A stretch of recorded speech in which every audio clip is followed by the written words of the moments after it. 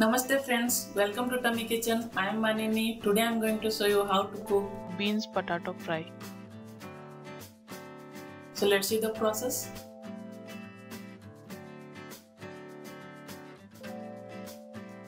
First take a frying pan and put some oil to heat.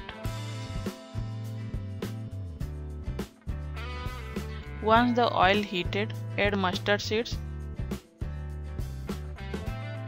dry red chili,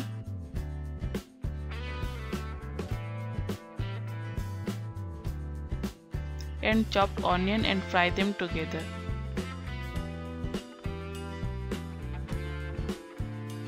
Once they turn brownish, add chopped potato and beans. Then add salt,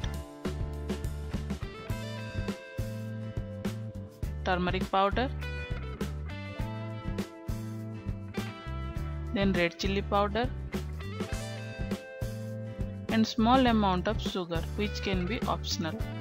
Now mix them well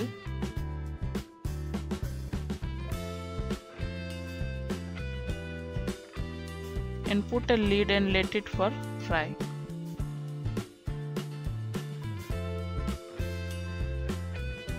Check after some time interval whether they boil and fry properly or not.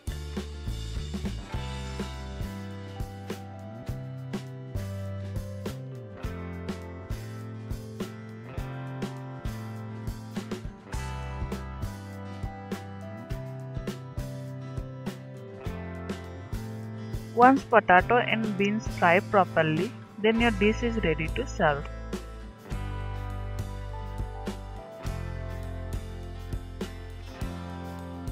I hope you like this recipe. So subscribe our channel Tummy Kitchen and follow us in Facebook. Thank you.